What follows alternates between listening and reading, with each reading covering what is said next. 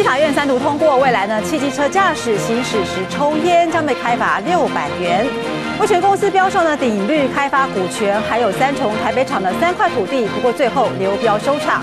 海军新设计的高效能巡防舰沱江军舰今天上午交舰，正式加入了海军舰队。北韩网络呢礼拜一全面瘫痪，各界怀疑遭到美国反制，不过美国官方不置可否。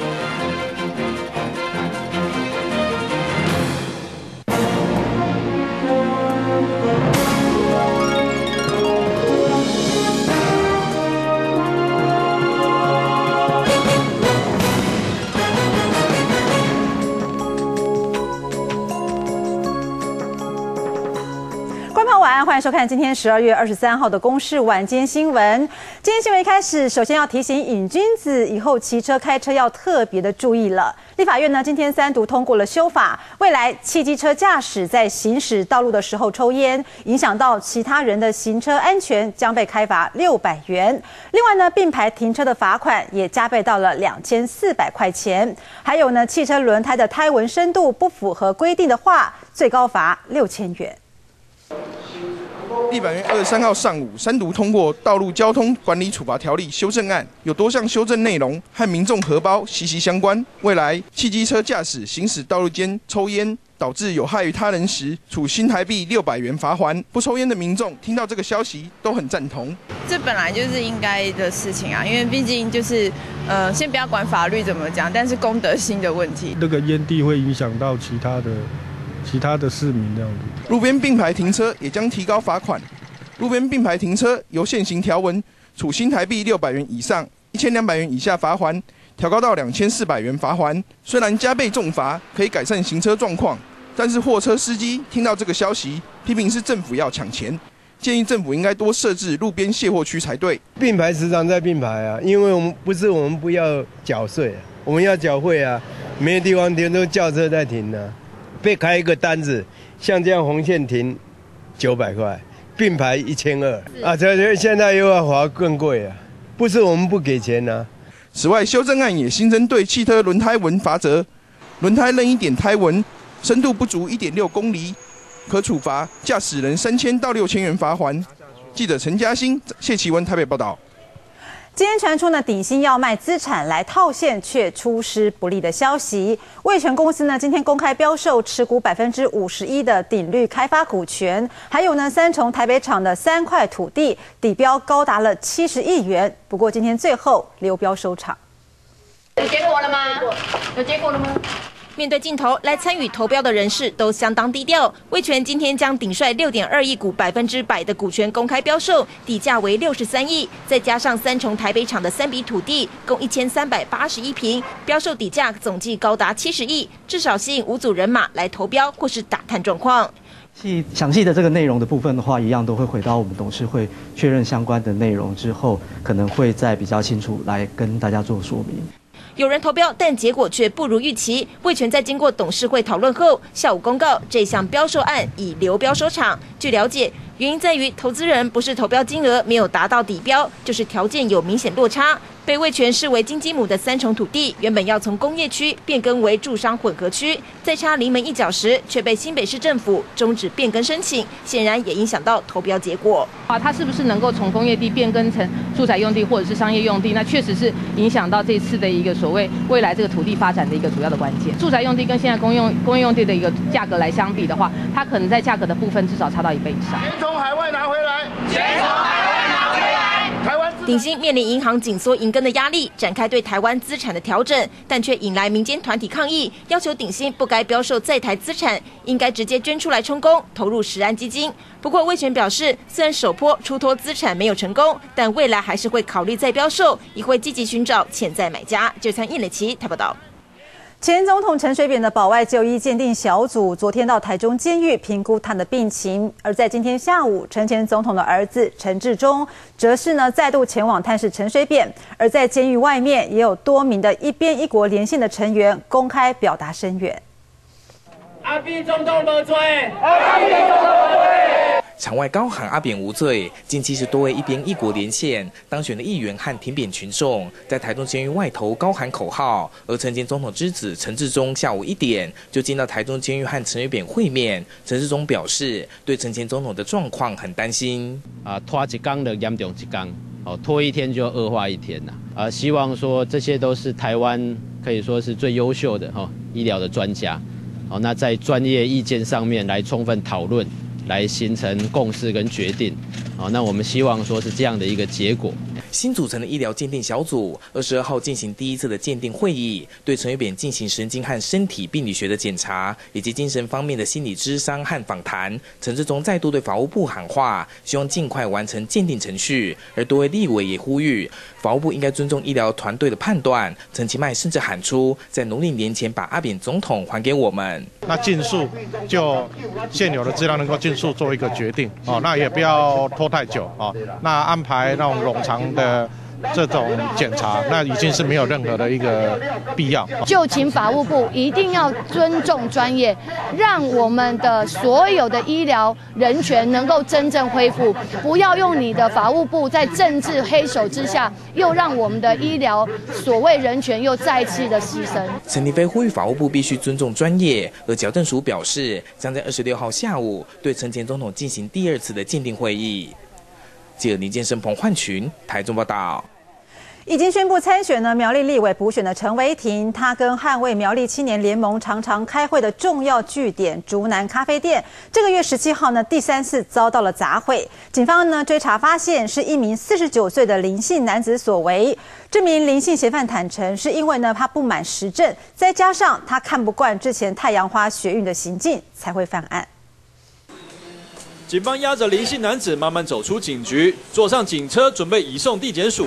他就是涉嫌在这个月十七日砸毁捍卫苗栗青年联盟据点竹南咖啡的嫌犯。二十公尺外打这，应该打这里反弹这一块。哦，所以就破两面就是啊。警方调阅监视器追查，发现当天凌晨五点半，林姓男子开箱型车经过咖啡厅，打开窗户停留约四十秒，认为他涉嫌重大。二十二日晚间持搜索票前往嫌犯住处搜索，搜出强力弹弓和用来射击的螺帽。经扩大调阅，呃，进而锁定涉案车辆，经搜索，呃，查获那个强力弹弓、螺丝帽等证物哦。那据那个嫌疑人表示哦，是心情不好，对此事不满，呃，所以犯案哦，发现以下例。警方表示，林姓男子当场就坦诚犯案。他说：“因为不满时政，加上看不过之前太阳花学运的行径，所以拿强力弹弓射破咖啡店的玻璃。不过他否认前两次的攻击事件也是他所为。警方将持续追查。”记者邱子培、赖世杰苗栗报道。海军新设系的高效能巡防舰呢，沱江军舰今天上午呢，在苏澳商港举行了交舰仪式，正式加入了海军舰队。由于呢，沱江舰性能优异，未来在成军之后，将是亚洲最快、火力最强的舰艇。沱江舰二十三号正式交舰，离开苏澳商港，驶向对岸的苏澳军港。沱江舰是海军第一艘穿浪型双船体设计的船舰，可以高速航行。根据海军提供的数据，最高船速三十八节，不过实际测试时可高达四十四节，也就是时速超过八十公里。船速啊，不仅达到这个规范的要求，甚至于呃超越这个规范甚多，成为亚洲最快以及火力最强的舰艇。沱江舰船身设计还有一大特色，就是采用最新的逆中设计，有棱有角一个一个舰型哈，那会使雷达反射波截面积会反射减少，然后造成一个逆中的效果。另外，船首配备七六快炮，船尾也配备干扰弹以及国造雄风飞弹。我们看到这是方阵快炮，另外旁边还有各八枚的雄风二型飞弹及雄风三型飞弹，其中这雄三飞弹被称为是航母伤手，对于我们未来海上防卫能量将有很大的帮助。海军规划将以沱江舰为原型舰，从二零一六年开始量产八艘，未来也将以这个成功经验开发两千吨级的双船体军舰。记者张志雄、吴家宝，SNG 小组宜兰报道。高铁呢面临破产危机，交通部日前提出了财务改善方案，并且在将在最后的执行期限定在今年的年底。不过呢，眼看时间就快到了，法案呢目前还卡在立法院。目前呢，高铁局已经着手准备明年高铁破产之后，政府将要接管的手续，初步估计可能要花上七千亿。高铁面临破产危机，但财务改善方案却迟迟没有过关。交通部高铁局已经展开 B 计划，规划政府接管高铁的程序。等明年三月特别股判决定验，高铁宣告破产后八十天，政府先承担三千零八十三亿的债务，然后进行建价及移转。出估后年初，政府要投入三千九百亿来收买高铁，之后再重新招商或成立国营公司。高铁局表示。政府除了得掏出三千九百亿，还要面对高铁公司求偿的三千亿。高铁公司提出来的三件不可抗力阻碍情事。那这三个案件呢？呃，高铁公司片面的主张金额是三千亿左右。算一算，政府等于要拿出将近七千亿，才能将高铁转为国营。赶在最后时刻端出 B 计划，交通部就是希望促使立法院同意高铁的财改案。但交通委员会国民两党的意见还是很多。高铁是一个 BOT 的一个最大的错误的一个 BOT 政策，所以借由这个机会，其实想办法。把它接收回来。年的特许期呢，是一个庞大的利益，觉得我们没有办法接受。也有立委坚持，高铁应该要先降价，再谈财务改革。高铁到底会依交通部的规划进入财务改革程序，或是先宣告破产，由政府来接收？最后一周还是充满变数。记者林正武、张国良台北报道。明年春节返乡呢，要搭普悠玛或者是泰鲁格号的民众可能要多付一点钱了。台铁呢正在研拟差别费率，在假日呢或者是连续假期的时候，普悠马跟泰鲁格号最多呢将涨价百分之九，而旧型的柴联自强号最多降价一成左右。明年一月就会定案。普悠马跑得快，又不必站站停，收费也没比较贵。现在别说是假日，就连平常日都一票难求。泰鲁格号的状况也差不多，要怎么能让旅客分流？台铁决定从明年的春节开始，在尖峰时段实施差别费率。目前我们的规划都是在假日的时段，也就是五六日这三天，还有连续假日的期间。以后假日自强号将分成三种费率，普悠玛及泰鲁格号可能涨百分之三到九，PP 自强号价格不变，最旧的柴联自强号则降百分之五到十。以台北到台东原本一律七百八十三元来算，普悠玛及泰鲁格号最多贵七十元，柴联自强号则可能省七十三元。算一算，来回如果都选择比较旧的自强号，民众可以省将近一百五，但真的会达到旅客分。流的效果吗？我还是会选择搭普悠玛号。为什么？因为我觉得比较快，五十块就会有效了。因为有些人不必那么赶时间，五十块他可能就考虑买其他的。对于差别费率的效果，民众反应不一。台铁局则表示，目前差别费率的条幅已经送进交通部审核，等拍板定案后，预计一月初公布，以赶在农历春节实施为目标。记者林正武、张国良台北报道。好，接下来看的是呢，因为股东之一的鼎新集团呢涉入了黑心油风暴，让外界一度很担心，今年呢台北一零一的跨年烟火可能放不成了。不过呢，今天传出了好消息，台北一零一呢今天正式宣布，今年的三千八百万跨年烟火将由英业达已故创办人温世仁所成立的看见台湾基金会来赞助，而今年烟火主题就定调在 I C 台湾，爱惜台湾。今年台北一零一的跨年烟火，因为股东之一鼎新集团涉入黑心油风暴，让外界一度担心不放了。台北一零一在二十三号宣布，由英业达已故创办人温世仁成立的看见台湾基金会赞助三千八百万元，成为了今年跨年烟火的赞助商。而这也是一零一首次出现非营利事业机构出资的赞助。每年的跨年烟火都是台湾民众引领期待的美好事物，可是今年对世界说故事的舞台。台湾原本好像要缺席了，我跟基金会的同仁说，我们要不要打个电话问问看，是否有什么事情是我们看见台湾基金会可以做的。经过一个多月的洽谈，双方终于在二十二号晚间谈好合作模式。今年烟火主题定调为 “IC 台湾，爱惜台湾”。一零一董事长宋文琪表示，能够在非营利机构出资下赞助烟火，对台北一零一有加分的效果。而这一次合作只是开端，期待未来继续结合双边的力量，达到一加一的效果，共同为这块土地尽份心力。我们不是一个百货公司，我们也不是一个地产公司。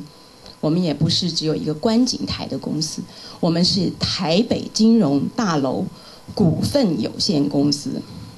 所以，当有一个地产公司要来买我们，号称可以替我们加分的时候，我个人是感到有一点奇怪。宋文琪表示，很多人不喜欢一次性的烟火，但要不要放烟火，应该由台湾人共同决定。也认为今年将会是十一年来最精彩的烟火。记者吴有林国黄推报道。好，那么呢，众所期待的一零一跨年烟火，后天呢就要接任台北市长的柯文哲，究竟会不会参加热闹的跨年晚会呢？先前表明呢，政治人物参加跨年晚会上台发言是自讨没趣的柯文哲，他今天公开表示，当天不会上台，他自己呢在会在摇滚区跟民众同乐就好。至于呢有没有邀请总统马英九参加，柯文哲他说还要再考虑。一零一璀璨的烟火，挤得水泄不通的跨年人潮，让民众热闹狂欢的跨年晚会活动，却让即将上任台北市长的柯文哲有些头痛。二十五号交接市长之后，柯文哲第一场要面临的大型活动就是跨年烟火晚会。曾经透露自己不爱释放烟火的柯文哲，究竟要不要上台致辞呢？把这种跨年晚会啊还给台北市民了，这些政治人物哈就不要去抢抢抢台上的位置啊，我们就在。台下摇滚去看，你知道哈。但另外一个让柯文哲有些尴尬的问题是，是否会邀请历年都会参加台北市跨年晚会的总统马英九？柯文哲表示自己还没有想过这个问题，先交由官船局来处理。唉，你让我想一下吧，我还没有还没有时间想到这个问题啊。邀请的问题啊，我想就给官船局去处理就可以了。柯文哲表示，今年跨年晚会就按照原本规划进行，至于明年办不办，明年的事明年再来烦恼。另外，柯文哲也提到，上任之后基于公开透明的原则，未来是否员工的工作执掌内容、开会记录也都会公布在网络上，让民众来参与市政监督。记者李威传、林志坚台北报道。好，新就任市长呢，在后天就要举行交接，而台中市长当选人林佳龙则是提早开始跑行程。今天上午呢，他参加了中心大学石安农业检验大楼的动土仪式。不过，原本也被安排出席的胡志强，则是在前一天决定不出席。虽然再过两天才上任，台中市长当选林佳龙已经开始积极跑脱。上午参加台中中心大学新的石安检验大楼动土，不过原本这场动土是要由现任的市长胡志强主持，却在前一天胡志强宣布取消行程，引发外界认为两个人是王不见王。我跟胡市长没有另外特别联络，我想这有意义的活动，大家共襄盛举。林佳龙表示，这是已经安排好的行程，一切听主办单位的安排，并不是刻意错开时间。林佳龙说，最近积极和胡志强安排交接之后，就没有进一步联系。最近已经完成交接的工作，也将对重大的建设进一步检视。是啊，BRT 啊，或者是歌剧院，啊，像台湾塔，还有这些呃缆车的新建等等，啊，那我们还需要进一步得到更详细的资讯。哦，才可以做出决定啊！未来怎么样来检讨跟改善？而中心大学即将成立的新石安以及农业检验大楼上午进行动土，校方表示，主要是针对近来食安问题严重，希望成立公正的第三方单位，从源头进行把关。从重金属到一般的农药残留，还有一般的这个食品里面的一些防腐剂啊、抗生素啊，我们都涵盖在里面。即将上任的林家龙也表示，目前台中市的食品加工厂有两千七百多家，不过稽查人员。只有二十七个，未来希望加强稽查机制，从源头把关食安。记者林建生、彭焕群，台中报道。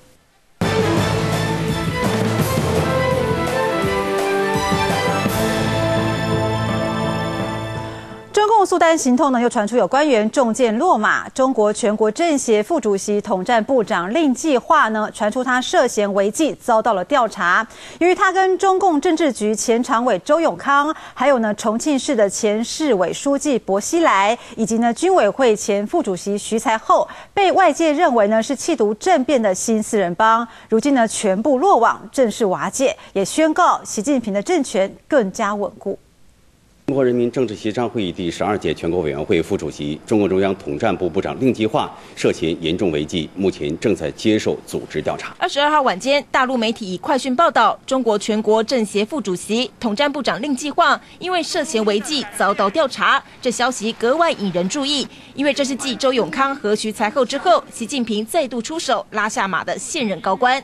令计划会遭到调查，起因源自于他儿子在二零一二年开着法拉利发生死亡车祸，意外揭露令计划贪腐的家庭生活，之后就连带牵扯出他和周永康意图推翻习近平。而这一年多来，令计划家族里的人和亲信陆续涉案被查，而被视为密谋蹭政的新四人帮，从薄熙来、周永康、徐才厚到令计划接连落网后，也宣告正式瓦解。对于习近平透过一个反贪束缚。的调查的工具，来进行目前为止对于不同意见者，乃至于对于不同派系者，我相信不管是目前的权力巩固，还是十九大的权力的进一步的强化跟布局，都会具有重要而且深远意义跟影响。习近平打着肃贪的名目，一一整顿不同派系和势力，陆续展开收网，预期大陆政坛将再掀起另一波调查风暴。记者综合报道。另外呢，美国跟北韩的网络战呢进入到第二阶段，北韩网络呢在礼拜一全面瘫痪，各界怀疑是遭到了美国的反制。不过呢，美国官方不置可否。而在另外一方面，联合国安理会不顾中国的反对，将北韩违反人权的指控列入议程当中。北韩原本有四条网路都是透过中国连接，但是星期一开始出现间歇性断线，随后完全中断。由于前几天美国总统奥巴马才将索尼遭到骇客攻击一事归咎北韩，并警告要采取报复行动，引发外界怀疑是美国出手反制。美国官员拒绝证实。They want to help here. They can admit their culpability and compensate Sony for the damage that damages that they caused. 尽管美国联邦调查局表示掌握三大证据，显示北韩是索尼遭害的幕后黑手，这次的网络攻击导致影射刺杀北韩领导人金正恩的电影《民主》。出任务取消耶诞节首映，但平壤全盘否认，并反控美国鲁莽造谣，还透过官媒放话将打击白宫五角大厦跟美国本土全境。이사이버전은이군목적에따라서이세계많은지역에서이벌어지고있고이각인각색의해킹프로그램과이해킹코드를이용하고있습니다이그러나미국은이원래도맞지않는 北韩还要求跟美国共同调查索尼骇客事件，遭到美国驻联合国大使鲍尔驳斥荒谬。另外，联合国大会十八号通过的谴责北韩人权决议，二十二号一如预期在安理会中遭到中国反对，但安理会还是列入议程讨论，提出谴责。不过，对于联大决议中将北韩人权问题移交国际刑事法庭一事。碍于中国享有否决权，安理会并没有具体行动。记者陈秋梅报道。发生在两千零四年的南亚海啸，再过几天就要届满十周年。当时呢，包括了印尼、斯里兰卡、泰国还有印度等十三个国家，因为这场天灾造成了无数家庭家破人亡，总共夺走了二十三万条的人命。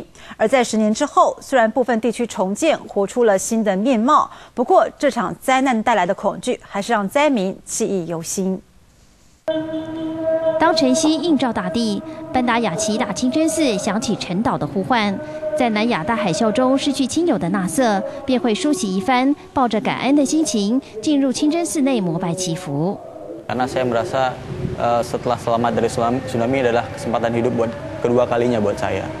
Karena saya banyak melihat orang-orang meninggal, banyak melihat orang-orang yang teman-teman saya yang hilang, keluarga saya yang juga ikut hilang, orang-orang terdekat saya yang hilang. Jadi ini menjadi suatu momentum untuk berubah ke arah yang lebih baik. 十年前的十二月二十六号，雅琪湾海发生规模九点一的强震，引发大海啸，重创雅琪首府班达雅奇。这座大清真寺却在一片瓦砾残骸中屹立不摇，被许多信徒视为奇迹。纳瑟也就是和数百名幸存者躲在这里，才能逃过死劫。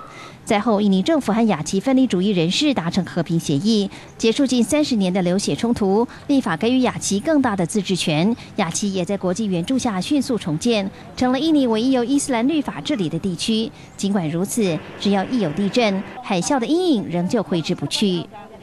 We are so traumatized that every time there is an earthquake, no matter how small, even if it's in the middle of the night, we run out of the house as fast as we can. 而在斯里兰卡南端滨海城市加勒这处小村庄，浩劫十年后，已经完全看不到海啸的痕迹。国际间的慷慨解囊，让村里有了新颖的运动中心，得以培训板球选手和游泳人才。痛失七位亲人的老母亲，也有安身立命的家。 Can't complain, things are good. We didn't own a house to live in, and now we've got one. The children have found employment. 汲取南亚大海啸的教训，受灾国家目前都已经普遍设有海啸预警系统，也在重建中找到出路与希望。记者曾慧敏报道。天主教教宗方济各呢，二十二号当天呢，跟梵蒂冈的高层行政官员举行年度的耶诞聚会时，以极为严厉的言辞痛批教廷的官僚体系。教宗呢，明白的指出，有些神职人员贪图权力，罹患了十五种的毛病，希望在新的一年，大家都能改邪归正。这场聚会原本应该是教宗和教廷高层行政官员互道耶诞快乐，大家行礼如仪就罢了的场合，但是教宗方济各却选择利用这个机会，对教廷行政高层发出最严厉的批评。Incominciamo con la malattia del sentirsi immortale, immune o addirittura indispensabile, trascurando i necessari e abituali controlli. Una curia che non si autocritica. Che non si aggiorna, che non cerca di migliorarsi, è un corpo infermo. 教宗明白指出，负责教廷行政运作的某些神职人员野心、算计、贪念，让他们染上了十五种毛病，像是患了精神阿兹海默症，变得铁石心肠，成为教条机器而非服侍上帝的人；还有些人染上了八卦恐怖主义，冷血的污蔑同僚兄弟的名誉。更糟糕的是，还有些人患了累积世俗物质的重症。It tells us that Pope Francis is not afraid of anybody. He's not afraid of anything, and he's not afraid to ruffle some feathers as he did. Il fatto però che dedichi il discorso di Natale in modo così concreto a 15 malattie spirituali è secondo me il sintomo del fatto che percepisce che la riforma della curia, la riforma prima di tutto spirituale, deve ancora fare grandi passi avanti, che ci sono ancora grandi resistenze, anzi che forse le resistenze stanno aumentando nel corso dei mesi. 教宗话说完了，现场一片静默，掌声稀稀落落。记者王慧文整理报道。 动物保护议题呢，在台湾还有许多国家都受到了相当大的重视。阿根廷首都呢布宜诺斯艾利斯的法院最近就做出了划时代的判决。他们认为呢，长臂猿属于接近人类的动物，必须享有接近人类的基本权利。因此呢，当地的动物园必须释放一只饲养了二十年的母长臂猿。Sandra，veni。Sandra。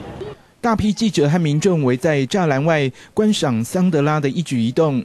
面对大家的热情和此起彼落的快门声，这只二十九岁、已经属于中高龄的长臂猿甩都不甩，自顾自的吃香瓜，然后到处散步玩耍。桑德拉于一九八六年以人工受孕的方式在德国出生，一九九四年移民阿根廷，将近二十九年来都在动物园里过日子，从来没有在野外活动。阿根廷的动物保护团体认为，长臂猿是相当接近人类的动物，必须享有基本权益。而当地法院也做出空前的判决，同意动保团体的观点。Establece que un primate es un sujeto de derecho. Es una persona no humana que tiene determinados derechos y que los puede hacer valer en un proceso judicial.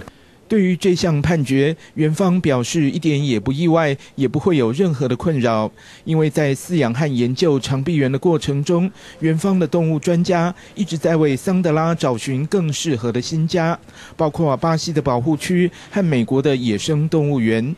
Lo que sí debe suceder para que exista una derivación, más allá de cualquier fallo, por eso te digo esto es previo, eh, es que los lugares a los que se deriva cumplan mínimamente con las mismas condiciones que ella tiene aquí. 日前，美国纽约有个类似的案例。动物保护团体认为，一只私人饲养的猩猩不能再任由饲主关在笼子里， 但法院不同意动保团体的主张。而在桑德拉生活了二十年的这个动物园，生物学家表示，动物就是动物，即使某些特征很接近人类，仍旧不能算是人类。因此，动保团体用人类的观点，把人类社会的游戏规则套在长臂猿或其他灵长类动物身上，是个天大的错误。记者徐家人报道。每一年呢，在耶诞节之前，欧洲民众最期待的就是呢，号称有全球最高总奖金的西班牙胖子乐透开奖。胖子乐透呢，今年总奖金高达了二十五亿欧元，大约是超过了九百五十亿元的新台币。在二十号当天呢，开出了十注的头奖，每注可获得超过一千五百万元台币的奖金。今年西班牙胖子乐透的十名头奖得主，二十二号诞生。头奖奖号一三四三七，这是西班牙蜡像博物馆的员工集资买彩券，幸运中了头奖四十万欧元，折合约台币一千五百六十二万。员工们不仅开香槟庆祝，还兴奋地相拥而泣。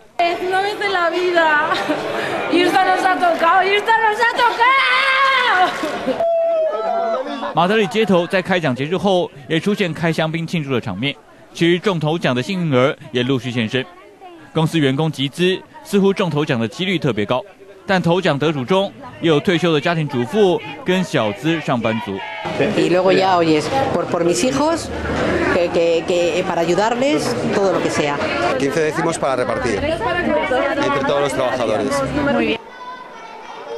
二十二号的开奖遵照传统摇奖形式，全程公开，由西班牙贵族学校圣伊德封锁的学生负责亮号，花了四个小时才完成开奖。西班牙的胖子乐透最早在西元一八一二年发行，当初的概念就是希望让民众获得一笔财富，过个快乐的耶诞节。因此，胖子乐透也被形容为耶诞老人提早送礼。对受到经济持续衰退的西班牙民众而言，十分受到重视。虽然每注二十欧元，相当于台币七百七十元，但买气依旧旺盛。当地媒体在开奖前纷纷以“不买保证没机会赢”为号召，替彩券做宣传。的总奖金高达二十五亿欧元，折合超过九百五十亿新台币。虽然金额没有破纪录，但依旧让不少西班牙各地的民众一圆发财梦，欢喜迎接耶诞节与崭新的一年。记者卷前报道。好，这些镜头呢，回到国内，我们要来看的是呢，通常呢，我们牙齿断裂破损，让生活饮食都很不方便的话呢，不少人会选择植牙来解决。不过，却也经常传出纠纷。高雄呢，有一名妇人在五年前呢，因为牙医过度植牙，造成她的牙齿数量比正常多了一颗，影响到了生活。而在台南呢，则是有民众在植牙之后疼痛化脓，原来被植入了一个迷你牙根。男科工程师蔡小姐一年前植牙，初期感觉不适应，回诊时医生也说没问题，但最近却出现疼痛化脓，甚至引发鼻窦炎。她赶紧找其他牙医看诊，才发现高雄诊所植牙时用了迷你牙根。植上去之后，就是会有一种。就是没办法去适应，然后咬咬东西的时候也会觉得无力感，到后来越来越严重，就是疼痛，然后到后来整个肿胀化脓这样子。和标准牙根比较，迷你牙根粗细差很多，耐受力相对较低，使用年限也无法太久，且两者价差三四万元。高雄诊所却仍收原价六万元。专业牙医指出，迷你牙根多用在临时假牙。一般迷你牙根我们在临床上我所接触到的 case 大部分都是用来做所谓的临。指甲使用，就是说患者在一个治疗的疗疗程过程中。他可能会局部有缺牙，或者短暂的几个月有缺牙，没有办法咀嚼的功能，我们就会使用迷你牙根。植牙纠纷不止这一桩。五年前，高雄张姓牙医替一名妇人植牙，因为过度植牙，比正常三十二颗还多了一颗，造成妇人无法咬合，牙床疼痛，严重影响生活。妇人因此告上法院求偿。虽然牙医辩称妇人口腔未清洁干净，但高雄地院判赔三百四十九万元，其中一百二十万元精神抚慰金，创下新高纪录。三十三颗，大概是有一些。在臼齿区，他呃，这位医师用了呃两颗种植那个植牙放进去了，所以可能距离哈有时候会太靠近的话，它清洁上会比较困难。其他诊所牙医就指出，植牙过密已造成清洁不易。不过这家牙科诊所整天没看诊，未出面回应。记者李传莫昭全台南高雄报道。五年前呢，莫拉克风在台东金峰乡的嘉兰村有六十多户的民宅被洪水冲走，而在三年前呢，村民集体提出国赔诉讼。不过今天传出，原民会跟嘉兰村的村民达成了和解。缠讼将近三年的台东县金峰乡嘉兰村莫拉克风灾国赔案，受灾村民集体向台东县政府、原民会、农委会和水利署等政府部门求偿两亿多元的赔偿。但二十三号，原住民族委员会和嘉兰村民达成和解，用排湾族解决争端的传统和解仪式，由原民会提供以十为单位的猪、槟榔、小米酒和鸡，象征实质和解，并且在部落广场鸣枪立和解碑。我们呢有很大的信心，这场诉讼会百分之一百的胜诉，但是我们还是选择愿意跟部落的族人坐在一起。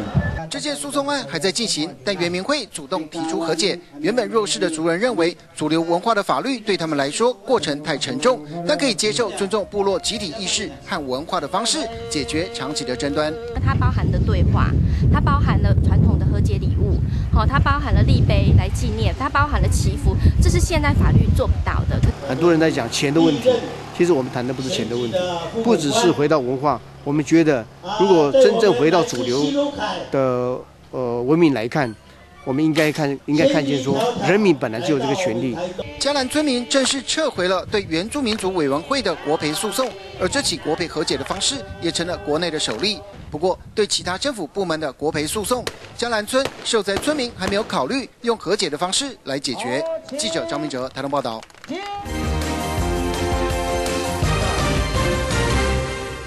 东北季风盛行的秋冬季节呢，空气品质容易变差。其中呢，中南部的细悬浮微粒 PM 二点五浓度明显飙升到了年平均值的两到三倍之多。有学者就提醒，如果长期下来，健康一定会出问题。污染物细悬浮微粒 PM 二点五无所不在，不管是自然的火山爆发、海盐微粒，或是人为的工厂跟汽机车排放，都会出现。根据国外在二零零五年的研究显示，PM 二点五浓度每上升十微克，总死亡率会上升一成七。学者强调，国外数字无法套用在国内，不过长期二三十年暴露在浓度每立方公尺二三十微克当中，对健康有害。一整年的平均如果仍然是二三十的话，那当然长期下来是会有健康影响，长期的铺路才会造成这个呃致癌性的这个健康伤害的。学者表示，如果只是持续几天的浓度飙高，民众不用太担心。不过，台湾 PM 二点五年平均浓度是二十二点七微克，但中南部在前两年十月到隔年四月的平均值却高达三四十微克，明显偏高。对此，环保署坦言，就算明年先从高频地区开始进行污染总量管制，减量也要花时间。我们初步第二期，我们是估计要降百分之十。就五到十了哈，出估至少要花六年才能减二到四微克，但环保署形容这样的减量已经称得上伟大，强调工作非常艰巨。在管制高频地区之后，半年过后也要继续针对云嘉南以及中部地区来管制。记者林美陈昌维台北报道。基北区的明年免试入学方案究竟会不会变动呢？准台北市教育局长汤志明今天出席公听会的时候，没有明确的表态。不过呢，他强调家长跟教育部对于两尺分数的认知不同。他在就任之后会加强沟通，让基北区的招生简章能够在明年一月中旬出炉。在两天就要就任台北市教育局长，汤志明受立委姚文智所邀出席十二年国教家长新生公听会。由于出席的家长代表立场迥异，汤志明能做的就是倾听。孩子 care，我答对多，我必须要有比较多的选择权。各位家长的观念已经改，小孩的观念已经改，他的选择权不是选建中，他的选择权是选高职，选离我家近的高中。这每一题的困难度都一样，你才能够用题数来来来分发学生。但是这个这个呃，我们在出题目的时候，可能就非常难做到每一题的困难度都是一样的。一边坚持基北区明年免试比序先用量尺对学生比较公平，另一边则支持教育部认为先比量尺将使学生纷纷计较，扭曲国中教育学。家长说的这些内容，汤志明并非第一次听见，但还没就任，依旧不方便多说。不过他强调，家长和教育部对量尺分数的认知不同，就任后得快点沟通。我的粮食使用的位置啊，这个是有争议。好，那这一点争议的话呢，当然也会涉及到粮食本身它的那个十分的计分方式。好，这里面譬如说像一两分的人数啊，是不是有过多？基北区明年免试入学方案会不会变动？市长当选人柯文哲表示，二十九号之前就会定案。而汤志明说会赶快找新北基隆磋商，期望基北区简章明年一月中出炉。记者林小慧、沈志明台北报道。另外呢，世新大学校方呢先前要求学生会撤除争取学生权益展览的争议，目前呢持续的发酵当中。有学生认为呢言论自由受到了钳制，因此呢在网络上发起了口罩运动，号召同学戴着画擦的口罩来上课。不满世新校方这个月上旬要求学生会撤除争取学权展览，自称无名者的世新学生在网络发起口罩运动，并在二十二号正式展开。二十三号上午的世新校园没有看见戴上画叉口罩的学生，但有人强烈表达声援立场。在家里忘记戴啊。所以你是声援的？啊，对啊。我觉得，因为怎么讲，我们来读世新这个传播。传播就是传播产业为主的一个学校，就是应该要享有言论自由，不该因为换了一个校长，然后大家搞得大家都是学生想做的事情没办法做。有学生觉得学校的氛围不太一样，越来越保守。比如前一天还挂在创办人陈舍我雕像上的口罩，今天被拿掉了。像太阳花学运的时候，那个铜像我们是也有放太阳花的，而且也没有就是就是被说要求要拿掉什么的，对。然后现在就是有要求口罩要拿掉。展览被撤惹意，还牵扯到言论自由。校方再度出面澄清，强调学生会申请时确实提及学权报告，但展出内容多为对校务不满，确实不符，才会要求撤除。橱窗是属于世新大学的一个呃一个呃展示。正向成果，譬如说我们《天下》杂志，我们排排名第几啊？然后校队得到多少成绩，都是正向的。那因为它要牵扯到它的活动主轴，因为是耶诞节的气氛是十二月份啊，所以我们希望他们这两个能够做一个方向的一个结合。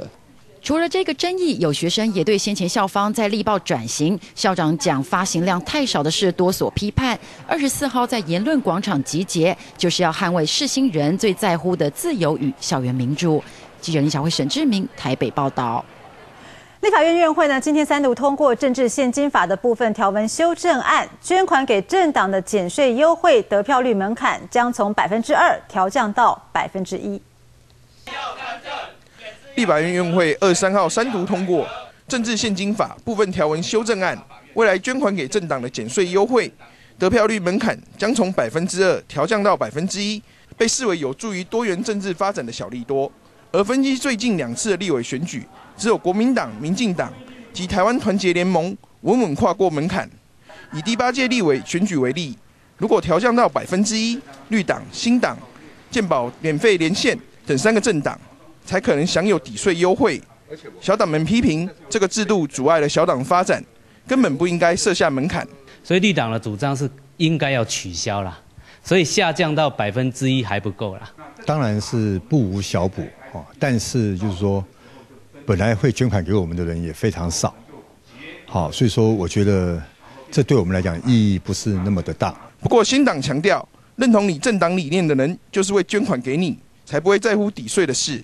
你你今天讲支持我们的，你就算是不，呃，要要要收税，不不能免，他还是支持我们呐，因为你根本没有机会当选的时候，你即使免免税这些，人家也不会捐你钱呐。小党们认为，小党无党产，又没有办法领取政党补助款，是否也应该放宽补助款的领取限制，让小党发挥多元性政策的功能，让不同的声音有发声的管道？记者陈嘉欣、谢奇文台北报道。九合一选举的惨败呢，让马政府坦诚施政方向跟网络时代的年轻人的想法出现了脱节的现象。那么要如何挽回年轻人的认同呢？曾经待过资讯业的行政院副院长张善政今天说，政府呢应该要有可以双向沟通的网站，可以在国发会架设一个网络空间，加强跟网络青年的沟通，还有意见交换。网络时代来临，网军的力量与日俱增。成为政府无法忽视的一股庞大势力，再加上九合一选战的挫败，更让政府下定决心要加强对网络世界的耕耘。曾经在搜索引擎龙头 Google 担任过亚洲区硬体总监的行政院副院长张善政，二十三号在接受广播专访时表示，未来准备要在国发会建立单一的网络平台，让民众与政府进行互动。要请这个国发会架一个集中的网站。各个这些政府网站，如果说有网友要回应的话呢，在这个集中网站统一统一去去去去播内容。虽然新网站未必能够马上就获得网民的青睐，但是张善政希望可以逐步的步上轨道，至少让民众觉得政府有在倾听民众的声音。他也期待未来网站一旦开放，网民可以减少情绪性的谩骂，建立正向的讨论风气。提出建设性的批评。既然政府开一个地方让我们去讲，那政府也会对于里面一些比较有需要回应的项目回应的话，我希望能够带动网友一个感觉，就是说，那我要多讲一些东西，让政府要回应我，而不是纯粹就是骂一骂，情绪发出完就没事了。此外，针对奶粉在近日涨价引起民怨四起，是否合理的争议，张善政表示会约奶粉业者喝咖啡，进一步了解。至于奶粉业者轮流涨价是否涉及联合行为，将由公平会来深入调查。记者李维传、林志坚台北报道。行政院消保处呢最近稽查二十家的连锁餐饮业，结果发现不合格率高达了八成五，其中王品集团旗下的餐饮业就占了六家，违规率最高。从机场影片可以看到，雨衣纸箱通通堆在一起，原本逃生的安全梯也被杂物完全挡住。这是位在新北市板桥的西提牛排馆，除了建筑安全不合格外，交保官还发现厨房卫生也不佳，不但垃圾桶未加盖，水龙头、配管以及墙壁还有黑莓剥落。部分的干货就放在走道，对不对？那为什么你们不弄个库房放干货？空间。空间问题这，你应该加这个是消防逃生通道。还有这家位在彰化园林的元烧烧烤店，除了冷冻柜温度不符合标准，冰箱内食材也没有覆盖，消防安全测试时警报器也发生故障。消防测试完全没有传出去，就坏掉，就等没有确认一下它坏掉。行政院消保处日前抽查二十家连锁餐饮业，结果发现，在卫生和消防部分有十七家不符合规定，其中王品集团旗下的餐饮业占了六家，违规率最高。另外，像是位在花莲的乡村妈妈餐厅，也因为被稽查到多项过期产品而被开罚。有过期食品的部分，已经要在卫生局的要求下，已经进行销毁。那么花莲卫生局已经裁处八万元的罚款。巧的为何就是政府单位在这个时候公布这样子一个讯息。那因为毕竟我们都已经赶向完毕了。对对对。消保官表示，这次稽查中主要还是以厨房卫生安全管理违规项目最多，有十六家业者都不符合规定。未来各县市卫生局也将加强稽查，只要有发现使用过期原料，最高可处两亿元。记者吴瑶瑜、林国煌台报道。好，接下来看的是呢，高雄市政府计划在中央公园新建图书馆。不过呢，护树团体很担心公园的老树会因此被移除，已经持续六个礼拜，不定期的到市政府门口来静坐。而就在昨天傍晚呢，又有三名的护树志工到了市府门口，却被警方强制的抬走，移送法办。其中呢，有一名林姓的老师，脸部跟手脚还受伤。今天下午出面质疑警方执法过当。我不想要去派出所，凭什么？志工整个人躺在标语看板上，还是无法阻止警方把看板拿走。例行的静坐抗议变成肢体冲突。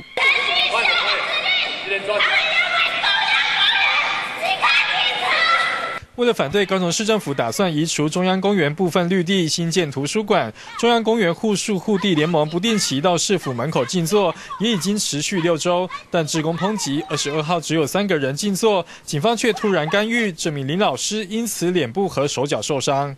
一来是警察先跟我们讲话，然后就直接说我要帮你们保管东西，你们东西不能放地上。于是我们就回答警察说为什么？凭哪要是依照哪一条法律？护树联盟抨击警方线人余罪滥权执法，第一线远警则澄清，一开始只是希望静坐人员别用看板占据车道，但对方不愿配合。他有一些看板，我们请他用手持的，那不要坐在地上，影响民众通行及车辆通行。但是他不听制止，那我们多次以违反社会秩序维护法，请他离开。但是他能够大声喧哗。护树联盟强调不会向警方提告，但最近的静坐是否都报警处理，谴责是否不尊重人权与言论自由。市府新闻局则表示会再进一步了解当天情况，但强调长期以来都很尊重护树联盟的声音，不会强行干预。记者王介春、许正俊高雄报道。立委丁守中等人呢提案修正化妆品卫生管制条例，希望在一定的期限之内全面禁止化妆品的动物实验，并且呢在今天举行了公听会。不过呢在公听会上，化妆品工会担心呢贸然实施会造成业者的重大损失，但是呢动保团体则是认为动物实验有它的局限性，实验反应不见得跟人体是相同的。用兔子的眼睛来测试化妆品成分有没有刺激性，这样的动物实验仍普遍存在。尽管动保团体痛批这样很残忍，但学者指出，目前有些动物试验仍没有替代方法。一般中等的跟一些低刺激性的东西用替代方法，这个到目前为止还没有一个可以接受的替代方法。皮肤过敏性，这个到目前为止完全没有替代方法。动保团体派出专家反驳，指出有研究显示，在兔子身上的实验反应跟人体并不尽然相同。拿动物实验结果套用在人身上，会有伪阳性跟伪阴性。兔子对人体反应的预测能力还不到一半。类似的引起兔子发生皮肤刺激反应的这个化合物当中，只有百分之四十它会有类似的反应在人体。认为动物实验残忍，立委丁守中等人提出化妆品卫生管理条例第二十三条之二及第二十七条条文修正草案。希望国内能在一定期限内推动化妆品禁限用动物实验。不过业者指出，目前国内化妆品主要销往中国港澳这些国家，不像欧盟，并没有禁止动物实验。贸然的这样禁止的话，其实会造成这个产业的一个重大的损失。怎么样给国内缓冲期？哈，这个我们会。考量到业界各方面这个调试调试的这个需要。尽管经济部工业局指出，目前国内化妆品年产值一百六十亿，全国有九百七十一家，一万七千多人从事相关工作，担心修法会冲击产业。但立委丁守中强调，禁限用动物实验是世界趋势，台湾是贸易导向国家，更应该及早应应。记者林们陈昌伟台北报道。新北市政府呢要办理变更板桥福州地区都市计划，预计要征收一百零三公顷的土地来进行开发。但是呢，因为征收的方式还有拆迁的补偿问题，引发了当地居民的反弹。今天下午呢，自救会成员在公听会上表示，希望政府呢可以先解决安置补偿的问题，再来进行拆迁，否则他们会继续抗争到底。一整排都是铁皮屋建筑。新北市政府针对板桥福州地区办理都市计划通盘检讨案，预计征收一百零三公顷土地来开发。但从九十一年开始发布实施到现在，却因为安置和补偿问题没有解决，所以还没动工。就说我们工厂需求的面积哈，可能需要二十七，但是你们之前提供的这三笔哈，什么什么六百平、一千平的，需要你们拿出诚意来帮我们解决这个安置的部分。在计划当中，部分地区以区段征收方式来进行，却会有四万名居民和大约五百间工厂因为拆迁而受到影响，让很多劳工家庭不知道拆迁之后要何去何从。希望政府单位可以先安置大家，再来讨论。针对民众诉求，相关单位也表明立场。我们不管是都市计划的审查，或者是区段终身居诶征收的审查，一定会充分去考量到民众的参与意见。那在整体上的话，我相信新北市政府也会啊听取大家的意见。现在因为全部用住宅跟商呃部分的商业，其实大部分以住宅为主，包括它的区段征收之前的价格跟之后的价格这个部分计算，如果用了产专区这个部分，可能好会有一些微调的空间。那计划变动幅度相对就会比较大。民众诉求，官员表示会纳入考量，评估可行性，再继续协商，并不是没有讨论的空间。预计最快明年底会再度展开征收作业。记者曹彦俊、张子佳台北报道。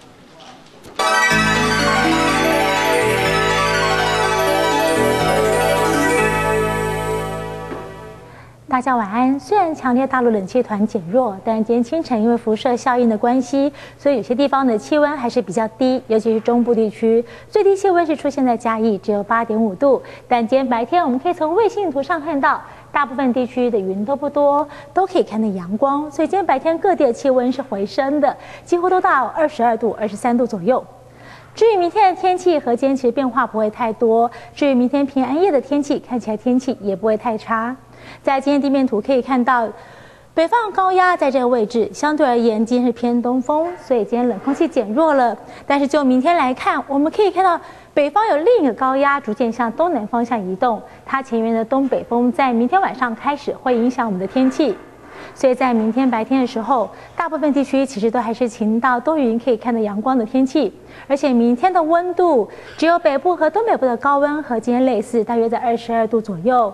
其他各地的高温会比今天高一些，尤其南部和东南部的高温在二十四五度。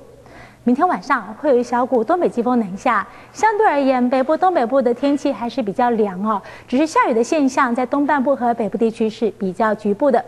提醒大家，虽然冷气团减弱，但是各地早晚的温度还是比较低。明天平安夜，大家从事活动还是要多添加衣物。以上资料是由中央气象局提供。好，所以说呢，明天各地大多是多云到晴的好天气，高温在摄氏二十一到二十四度之间，各地降雨几率呢不会超过百分之三十。另外呢，下一波的大陆冷气团将在下个礼拜一报道，各地的气温将会再度的下降。继续来看明天各地的详细气温。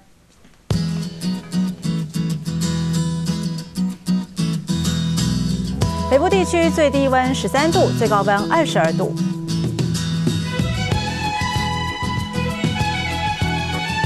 中部地区最低温十三度，最高温二十三度。南部地区天气也是相当稳定，最低温十五度，最高温二十五度。东部地区最低温十三度，最高温二十四度。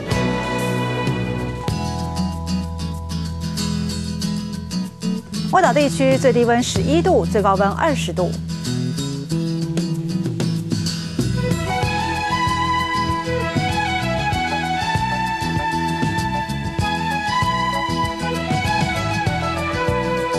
未来三天天气呢？北部地区到了后天是会有下雨的情形，中部南部地区也是相同。不过明天是相对稳定的天气状况。另外呢，东部地区天气比较不稳定，明天是好天气。今天新闻最后带你一起去梵蒂冈来看看天主教的点灯仪式。感谢你今晚的收看，我是洪慧竹，祝您晚安，我们明天见。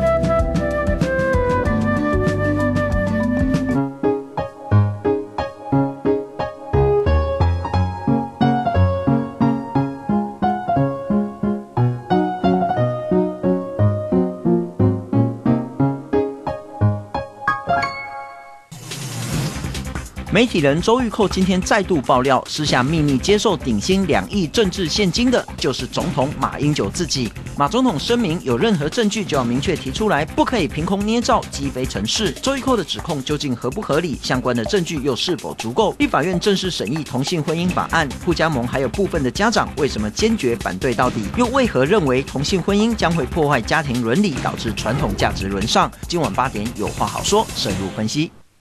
再次一个追破出来的了一哩哩哩哩哩，有哩这个字吗？有一个哇哩嘞，我是哇哩嘞的哩啊。那个有一个古代人叫做范蠡，哦，我写给大家看，这是我的大绝招。好，错了，还好，可惜啊。一字千金，一切领略中华文字之美。经过两年的引领期盼，《舌尖上的中国二》终于和大家见面了。新一季是将重点放在食物背后的人情故事，取材更贴近土地，介绍市井小民的日常生活百味，边疆地区少数民族的独特美食，还有寻找即将失传的传统美味。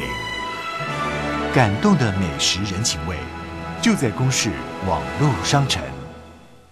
感谢捐款的观众朋友，公视基金会依据个资法搜集您的个资资讯，仅限于募款及会员服务使用，公视将妥善保存。您可来电行使您的权利，包括查询、更正或删除。感谢您，您的权利。